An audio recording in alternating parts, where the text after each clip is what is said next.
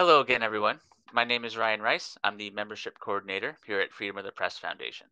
Thank you for joining us as we continue our ongoing webinar series on our programs and advocacy efforts surrounding press freedom.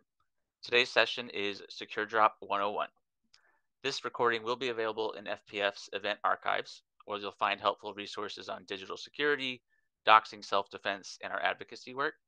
Um, this session should last about an hour, and we will include time for Q&A at the end. Um, I do believe the Q&A is open throughout the webinar, though, so if you want to sub submit something as it comes off your head, go right ahead. Um, if you have any questions about this webinar or Freedom of the Press Foundation's work more broadly, feel free to email me at membership at freedom.press. Joining us today is our newsroom support engineer, Nathan Dyer. He will be leading this discussion on SecureDrop, the whistleblowing platform used by journalists around the world. Nathan, welcome. Thank you so much for joining us today. Thank you so much, Ryan. I really appreciate it. Hello, everyone. I, am glad that you're here for the Secure Drop 101 event with us. I'm going to go ahead and share my screen here. Um, so, like Ryan said, uh, if you have any questions, by all means, please be sure to ask. Uh, we're also joined by Kevin O'Gorman, the engineering manager for the Secure Drop team today. So, if you have any questions, we'll both be able to field those. Uh, Kevin and Ryan, if you don't mind if any questions do come in through this presentation, if you'll just get my attention, that way I can answer it.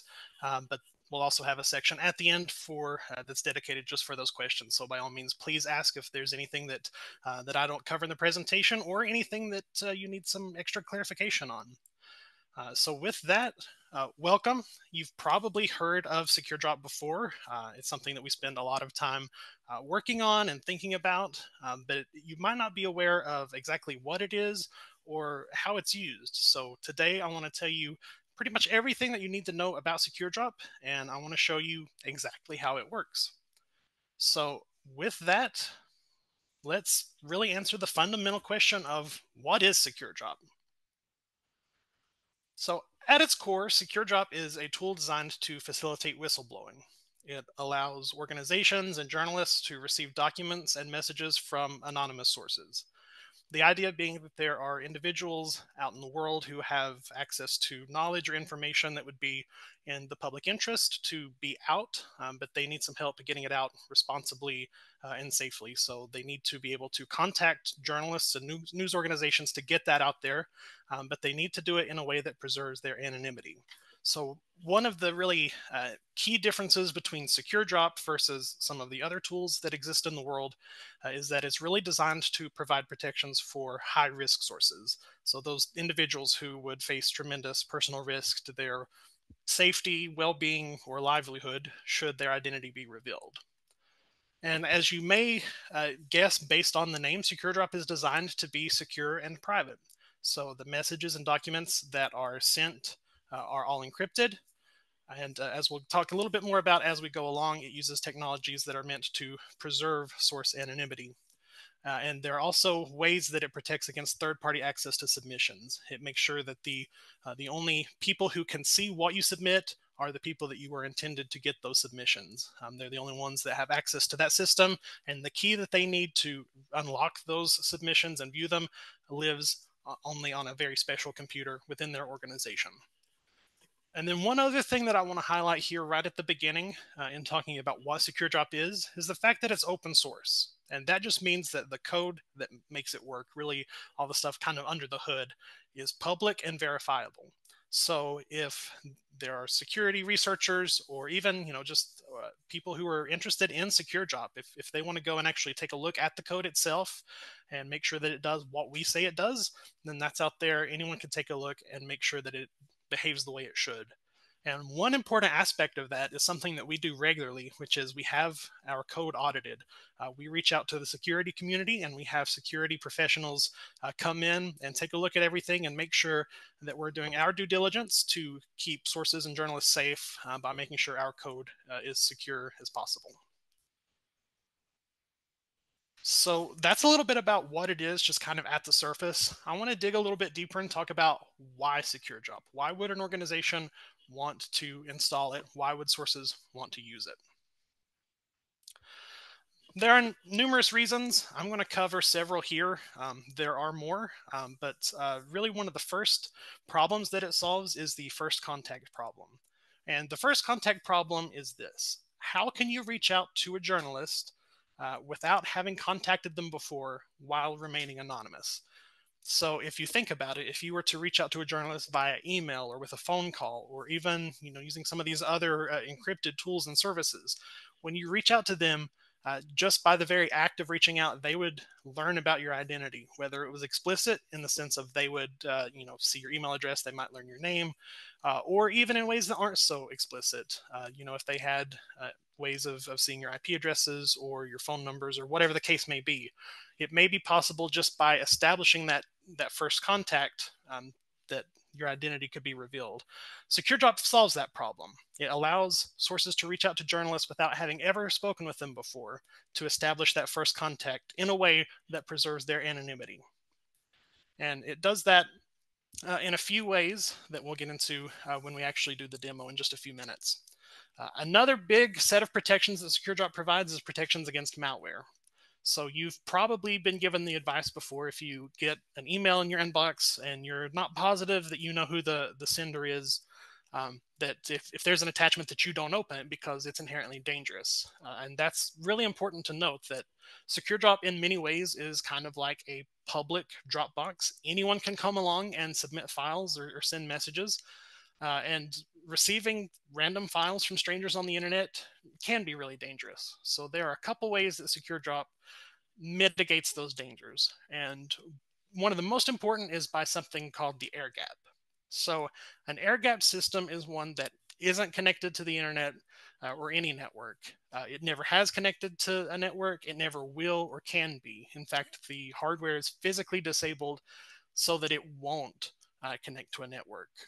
Uh, and that air gap is important uh, because if you were to open uh, you know a file that you receive if you were to, de- to decrypt it and open it uh, then uh, there's potential if there's malware on it that it could phone home to another server uh, or it could even potentially leak your key. So by having everything segmented and only on that one computer, never touching a network, it provides that layer of protection. And then in a similar way, the computer that is used to actually unlock or decrypt those submissions, it has a really special property about it. It uses a special operating system called Tails. Uh, that is able to revert to a known good state on reboot. So if you were to receive a, a file uh, and when you open it, if it had malware on it, as soon as you powered off the system, that malware would disappear. It would revert to that known good state. So even if you had malware, uh, as soon as you reboot, it's as if it never happened in the first place. So those protections really provide uh, a few layers of, of safety for journalists that are working with these sources or working with these submissions that they're receiving essentially from strangers on the internet. And then the other really important uh, protection uh, or property that SecureDrop provides is that there's no third-party access. No one else can see the submissions that are sent to a Dropbox, including us. Uh, it's important to note that we have no way of knowing what is sent to a Dropbox. We have, or uh, to a secure drop, we have no way of getting any metrics out. We don't know how many users there are. Uh, if someone were to set up a new secure drop, we would have no idea. Uh, and it's one of those things, you know, if the leak of the century were to come through a secure drop, then we would have no idea. Uh, one question that we do sometimes get is Do we ever know of a leak that does come from a secure drop? And the answer to that is generally no. We have no way of getting that. Um, there are some exceptions to that. Uh, occasionally, outlets will actually post in their news articles that the information they got came through a secure drop. So whenever that happens, we're able to, to tell, you know, something came through a secure drop. And then there are times when individual journalists will reach out to us through secure channels and just kind of hint to us that hey this big story came through a secure drop um, but it's always them initiating we never have any way of automatically knowing uh, we have zero access into any of the secure drops uh, and then one other um, really important aspect of that no third party access it really involves um, the restrictions that we place on uh, how SecureDrop is installed in the environment that it lives in. So when we're working with organizations, uh, we provide a list, and this is in our documentation. It's a really kind of strict list of requirements that are needed for a safe SecureDrop environment. The main ones being um, that it needs to be installed on dedicated physical hardware. So uh, install it on computers that are actually owned by the news organization and located physically in uh, the news organization's offices uh, on campus. So uh, everything is hosted, uh, everything is installed on actual hardware and lives within the news organization's offices on campus in a secure environment behind lock and key, uh, you know, in an area that has access controls, somewhere safe that is in that newsroom. And by doing so, that provides special legal protections. Like in the United States, there are legal protections that apply to newsrooms uh, that guard uh, or that really provide special protections in the case of searches and seizures for that server. Even in areas outside of the US or outside of areas that have those special protections for newsrooms, it still has protections against surreptitious ac- access elsewhere. Uh, if you were to have someone else uh, install and host your secure drop, uh, it's possible that they would receive uh, a warrant for a search, and it's possible that could come with a gag order to where they couldn't even tell you that happened. You would have no idea that someone was looking through your server or your secure drop. Um, so by actually hosting it on site within the news organization, uh, you know that no one is accessing that server without your knowledge. So that really covers what it is and why you might want to use it. But I want to take some time to talk a bit about how it works. And to do that, I want to refer to this diagram. Now, one thing you'll notice here is that SecureDrop isn't really just one application. It's an ecosystem. It's an entire environment. And I'm going to go through this kind of piece by piece to tell you a little bit about how it works. And the first piece that I want to highlight uh, is this one in the top left corner in the diagram here. This is kind of the heart and soul of secure SecureDrop. So these are the computers that actually run it there's one computer whose entire job is to make SecureDrop available.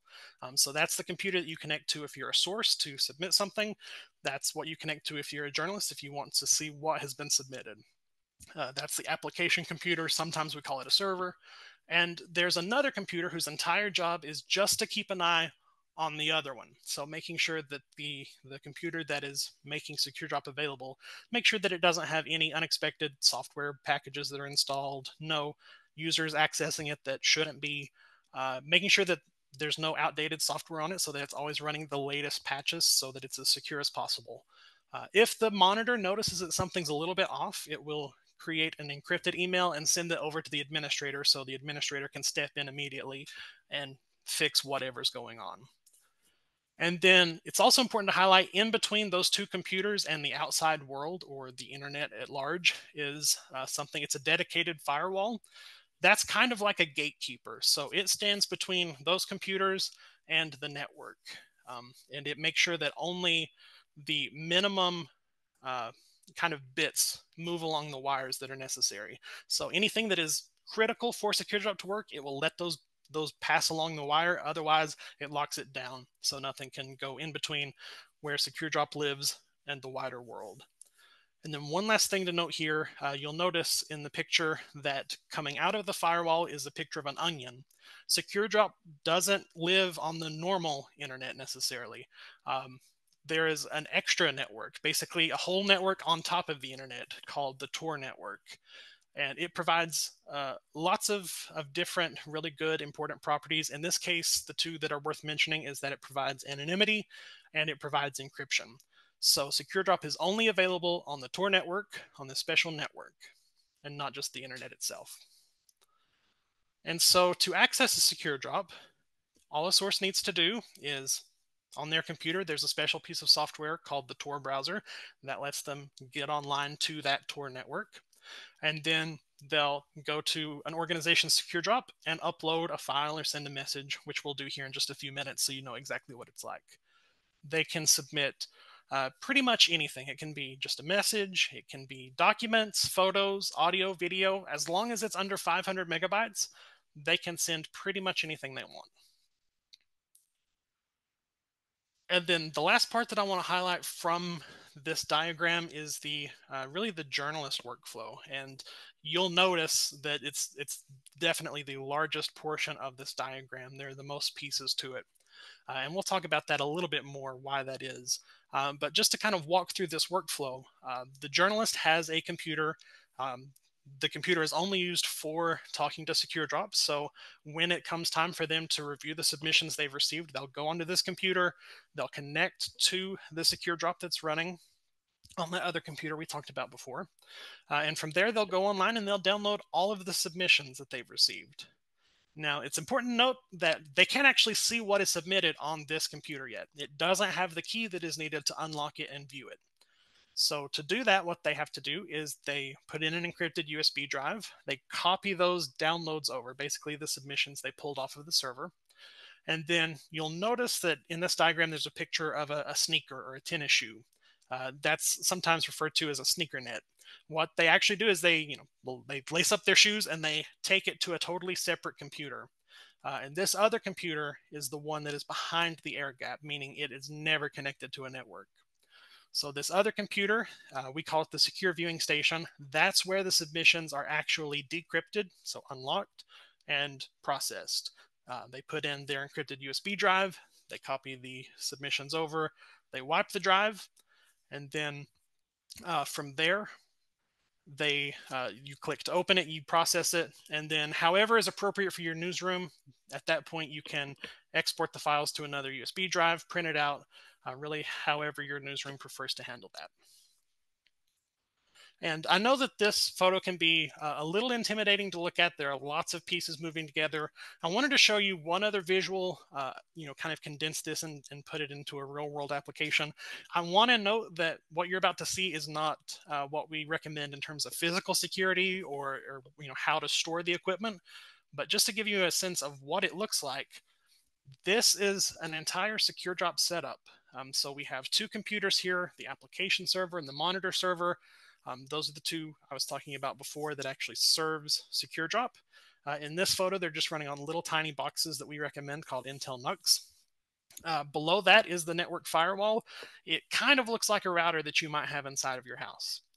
Uh, and then beside of it, we have two laptops, one where we've removed the wireless equipment uh, so it can't connect to a network, uh, and the other one, which is just a normal laptop that is used to connect to a secure drop and download those submissions. And real quick, before we move on to the demo portion of this uh, conversation, I wanted to talk about a few additional protections that Secure Drop provides. One is automated provisioning to guard against misconfigurations. So when it comes time for an administrator to set up Secure Drop, um, it's important that it be configured in a way that is secure as possible and doesn't differ from our recommendations. So um, there's just a kind of a, a, minimum amount of work to get things uh, at a, a, base level. And then from there, an administrator runs a couple commands that pulls in our software and it sets itself up essentially. Um, so we have scripts that do the installation for Secure Drop and make sure that everything that gets installed is according to our, our policies and, and really just meets the specifications to be as safe as possible. Uh, we also provide hardened custom OS kernels on those uh, the computers that run Secure Drop. Um, basically, what that means is that the software at the core of the system that Secure Drop runs on top of has extra patches applied just to give it that extra bit of security. Uh, it also has network hardening. Like I mentioned uh, a moment ago, there are minimal rules on the firewall so that only the absolute essential bits uh, can flow on the wire to and from the secure drop environment. Anything that's not needed for secure drop to work gets shut off and isn't allowed to go into that environment or out of. Uh, and last but not least, we've already touched on this, but access to secure drop only happens via the Tor network. Uh, so everything is uh, by that nature, it provides that layer of anonymity and encryption. All right, and with that, I'm going to temporarily stop presenting and I'm going to switch let's see. I'm just going to switch to a different view here. There we go. Uh, and so what you're looking at now is what a source would see if they were to visit a secure drop. So uh, in this scenario, a source has something they want to share. They've found a secure drop belonging to an organization they can trust. Uh, sometimes that can be found on an organization's contact page. We also, uh, at securedrop.org, we maintain a directory uh, where you can go and find ones that have passed uh, our base requirements uh, in terms of security. So this is what a source would see when they open Tor browser and load a secure drop page. Uh, so the very first thing you'll notice is here on the left, it will say first submission. Uh, it'll ask if it's your first time submitting to SecureDrop. If it is, that's where you want to start. And in this case, this is the first time we've ever submitted, so absolutely, let's get started. And the very first thing that the system does is it generates a random code name. Now, this code name is the only identifier that you have into the server. Um, their sources don't have any accounts on the server, uh, but sometimes it's necessary if you've submitted something and the organization wants a little bit more information from you or they want to communicate something to you. It's necessary for you to return and basically convince the server that you've been here before. So the only way to do that is to provide it your code name. So in this case, I'm going to uh, copy that over. Uh, let's see here.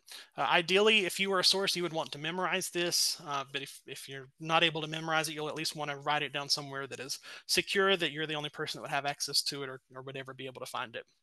Uh, so once you have your code name recorded securely, uh, we're going to hit continue. It'll take just a moment. Uh, if we need a reminder, we can click the box that says show code name, and that will remind us what our code name is. Um, but what I'm interested in here is actually submitting something to a secure drop. Uh,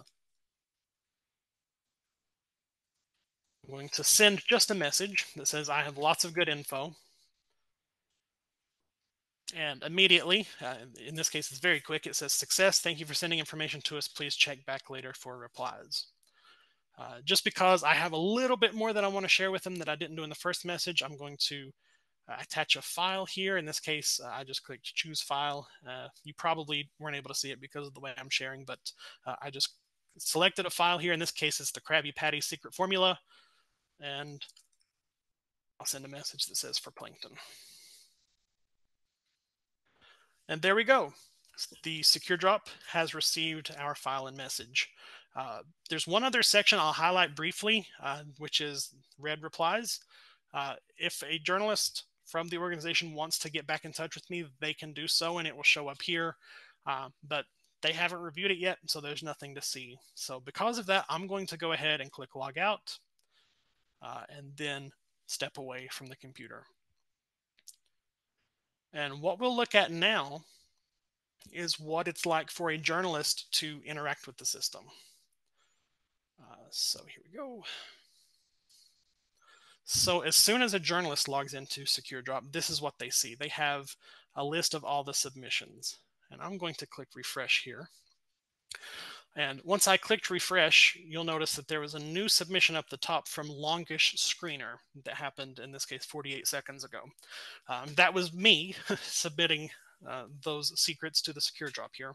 Uh, and you can see that there have been other submissions throughout the day. There were several two hours ago, five hours ago, 10 hours ago. Uh, the other thing that you might notice uh, if you were paying really close attention to the code names is that the code name that the journalist sees is different from the one that the source sees. Uh, and this is just a little bit of extra kind of obfuscation uh, so that in the event a journalist were compelled to give up information about a source, it wouldn't actually tie back to anything that the source has a record of. Uh, those names don't match up. Uh, but I'm going to go ahead and click this one here, which I happen to know is the one I submitted. And so here in this journalist view, you can see that I have, in this case, three different things to download.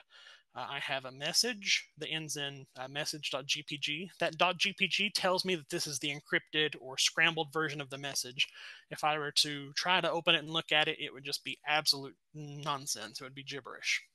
Uh, and that's true of all of these. These are all encrypted. Uh, you'll also see down here doc.gz.gpg. So that is the document that I sent. Uh, in this case, it was the Krabby Patty secret formula. Uh, and again, this is something where, as the journalist, I would download this uh, and take it to the, uh, put it on an encrypted USB drive and take it to the secure viewing station to actually look at. Uh, and we'll, we'll look at that here in just a minute. for now, I'm just going to send a quick reply. thanks. I'll be in touch. All right, so the source will receive my reply the next time they log in. So real quick, let's see what that looks like. And to do that, I'm just going to go back to where I was as the source. So in this case, it's no longer my first submission. I am a return visitor. Uh, so I'm going to click login and I'm going to copy this code name uh, that I had from before. This is going to identify me to the system as being me. Otherwise, it would have no clue who I am. It still really has no clue who I am. It just knows that this isn't the first time I've been here. Uh, and so now I can, again, submit files or messages, but I can also read replies. And in this case, I can see here I got something back from the journalist that says, thanks, I'll be in touch. And then it says that, uh, you know, for safety in the unlikely event someone learns my code name, please delete all replies. So I'm done. I'm going to hit delete. There we go. If I wanted to send something back to the to the journalist, I could just reply here and submit that message back. So that's essentially the entire workflow for uh, submitting to a secure drop and as a journalist accessing the submissions and working with them. I'm going to go back now and show you one more uh, piece that I wasn't able to show you. And the reason I wasn't able to show you this uh, in the live demo is because uh, to actually view those submissions, I would have to take it. If you remember the, the sneakers, I'd have to put it on that encrypted drive and take it uh, via SneakerNet, and walk it over to a secure viewing station that has the correct key on it, uh, and handle it there. So I don't have a way of really showing that to you live, but I have a couple of screenshots here that will show you that process. Uh, over in the left uh, of that screen, you should see uh, there's a file that's on this transfer device. That's the encrypted USB drive. Uh, we copy it over to the secure viewing station. We wipe the drive and eject it. And then the last thing we do, uh, we basically click to open. And because that key is already on the secure viewing station, it unlocks and I can see the message. Uh, if there were files attached, I could look at the files. At this point, they're unscrambled, they're uh, decrypted, and I can process them however makes sense for my newsroom, whether that's putting it on another drive and then taking it to, you know, their Mac or Windows workstation that, that the journalist is working on, or printing it out or something else. So that's a, a, kind of a look at what Secure Drop is and how it works. Uh, that's the full workflow. Uh, that's what a source would see uh, if they were submitting or a journalist would see when they're interacting with it. Um, so that's the current state of Secure Drop, but I want to take a minute and talk a little bit about where we're heading. And so as you've probably already picked up on from that diagram and just watching me kind of interact with it, uh, the journalist experience has some opportunities for improvement. Um, one thing you'll notice is that it required multiple computers uh, to be able to look at a submission. Uh, and in that same uh, kind of field, you have to be physically located near your secure viewing station. Um, so you're always kind of tethered to that computer and they always have to be together. Uh, you also have to juggle multiple encrypted USB drives sometimes it can be a little confusing. You know, is this the the one that I put the encrypted files on? Is this the one with the decrypted files? Uh, we always recommend labeling them and, and being very careful with them, but uh, you do have to juggle multiple encrypted USB drives. And you know, bottom line, uh, it's time consuming. It takes a long time to download files, uh, download those submissions from the server, copy them to a USB drive, walk them over to the secure viewing station, uh, and then decrypt them. Uh, and if this were a TV infomercial, this is where they would say, but there has to be a better way. And of course, there is. So that leads me to uh, my next point. Uh, this is a quote from a blog post that we put out a few weeks ago. And it says In 2024, the Secure Drop workstation will become the preferred, fully supported way for journalists to connect to Secure Drop to interact with sources. And you might be thinking, well, what in the world is Secure Drop workstation? SecureDrop Workstation is a unified workstation built on another special operating system called Qubes, and it uses multiple virtual machines uh, and policies to preserve the air gap. Basically, you have one computer that's running a bunch of smaller computers, and they talk to each other in special ways that makes it kind of emulate that air gap. Uh, what that means is that there is a client application that lets journalists view submissions similar to email. And I'll show you a screenshot here uh, in just a couple slides. But what you really see as a journalist would be uh, a list of submissions that look kind of like emails. And then when you click on them, uh, you instantly get to read the messages. Uh, and with just another click, you can open attachments in a safe environment uh, that is still air gapped. And to to kind of illustrate this or, or to draw a comparison, this is the slide that we saw just a few minutes ago. Uh, this is the current infrastructure or the current workstation or the current secure drop environment. And uh, it's important to note that the, the experience for the source remains the same. Uh, and the the computers or the servers that actually host secure drop and the firewall that all stays the same what changes is the journalist experience so you'll see here uh, with this new diagram, uh, and I'll jump back and forth again just to kind of illustrate the big change.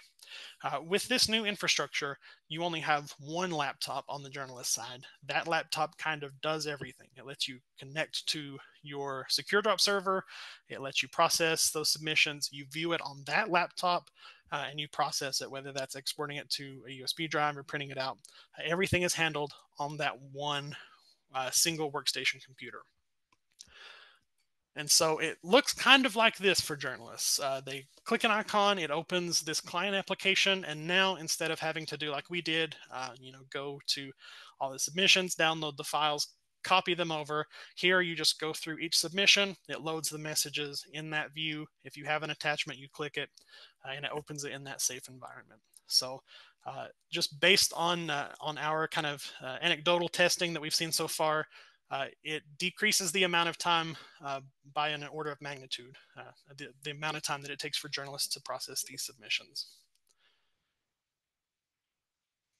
All right, and with that, we come to the question section. So I'm going to uh, stop screen sharing and I'm happy to answer any questions that I can. And also Kevin is here uh, to also answer questions. I know the um, directory lists uh, 32 news organizations, um, which is something that I like to hang my hat on and, and, boast about. It's it's both a frustration and a boast that we do not know the stories that break uh, for SecureDrop. Um, as a fundraiser, I would I would love to know, um, but knowing that it's out there, that people are using it, that the the directory has a bunch of names that I recognize and some that I don't. Um, is there a effort to facilitate more? Um, what does the the support look like for the current orgs that are using it? Can you just talk a little bit about those folks that are in that directory?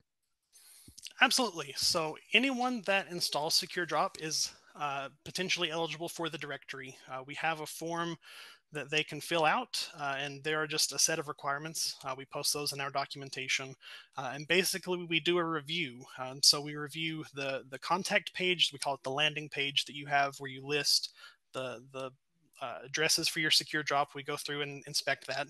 Once you meet our uh, qualifications from a security standpoint. Basically, no trackers, uh, having all the right security headers applied. Um, once they meet those requirements, we're happy to list your SecureDrop in our directory. Um, and at that point, we also give out something called a short onion name. So um, one thing I didn't talk about is SecureDrops have kind of a, a long kind of random address to get to it. Um, we're able to provide shorter, kind of customized names for organizations that meet those requirements. Um, so that's one big benefit of being in the directory. Uh, in terms of support, anyone can request uh, a support account with us. Uh, we do have priority support options for organizations that need help with guided installations or you know quicker response time um, or really extra training, things like that. We do have priority support, but anyone is welcome to register for a support account, uh, and we provide help, uh, whether it's questions in, um, you know, what kind of hardware do you need for a SecureDrop? Um, you know, am I is SecureDrop even right for my organization? We we're happy to answer all those questions. Thanks. Um, I have spent some time in operations with Freedom of the Press Foundation, and I did participate in getting some of this hardware in the past for some of these uh, news organizations. I don't recall it being uh, prohibitively expensive in the the old version with all the hardware and the stuff like that. Um, is that true? First of all, and secondly, is the the goals for the future the new system does that cut costs at all uh, for for the user? Very good questions. Um, so SecureDrop was always kind of designed around the idea of being able to run it on equipment that you might already have uh, or even just low cost equipment. So um, the servers that it runs on um, can be acquired relatively inexpensively. The NUCs we recommend are usually around $500 a piece. Um, that price varies. Um, in terms of the laptops that are needed we have been known to recommend like used ThinkPads things like that. So it's not uh, prohibitively expensive to run a SecureDrop by any means. Um, in terms of the new uh, SecureDrop workstation, uh, really the big change there is that your computer, uh, the computer that you use to access SecureDrop needs to have a bit more memory. Uh, Qubes, because it runs on virtual machines, needs a little extra memory um, to be able to run. So uh, the benefit of that is you only need one laptop. So you're cutting out the cost of two laptops. Um, the trade off there is that the laptop you do have, you might need to put a little bit more memory into it. I've always been intrigued by the air gap concept, the, the sneaker net, as you call it. Um, virtual machines, it's a similar concept, right? It's just in the virtual world. Um, could you explain it explain that like I'm five for for us.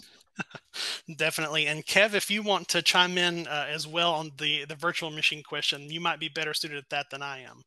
Um, but essentially, uh, you have uh, a computer uh, that is running. Uh, in this case, Qubes being an operating system that is designed around virtual machines. Um, and you have to have hardware that allows you to have virtual machines. Most uh, processors from the past 10 years or so will do it.